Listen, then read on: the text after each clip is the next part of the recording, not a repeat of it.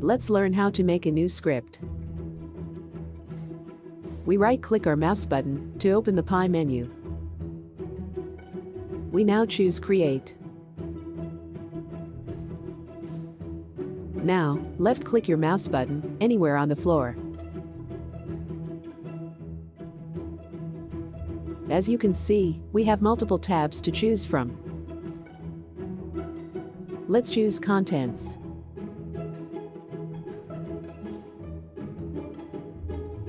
Go ahead and left-click on the New Script button.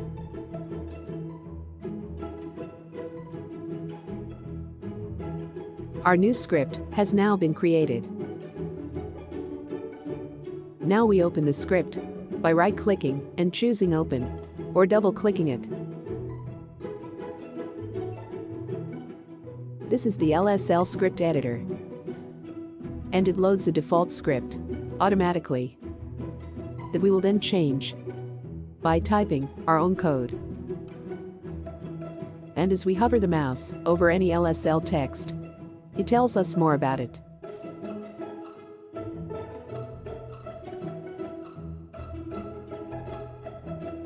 And we can left click on the insert button to see what LSL offers.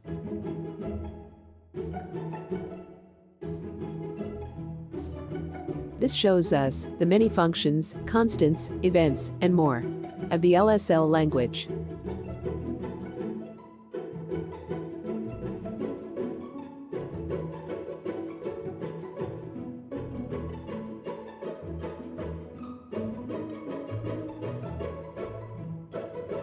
We first delete this line of code.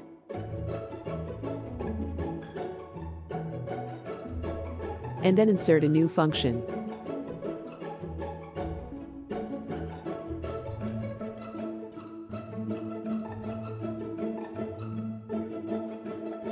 We choose the function by left-clicking.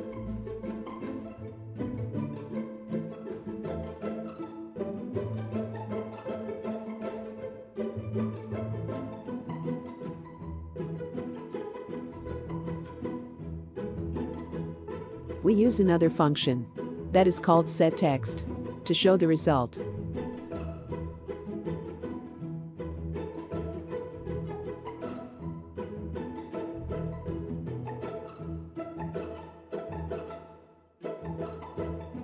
We add comment marks before the function in the touch start event because we are not using it currently.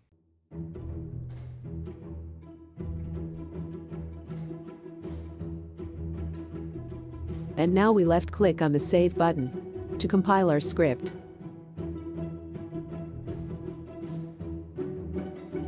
The script editor reads, compile successful, save complete.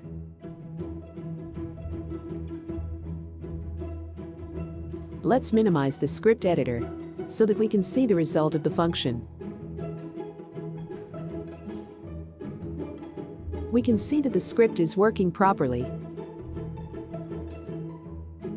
Now is a good time to save your script to your inventory. And make sure to send your friends to the College of Scripting Music and Science to learn more scripting and so much more. Take care and happy scripting.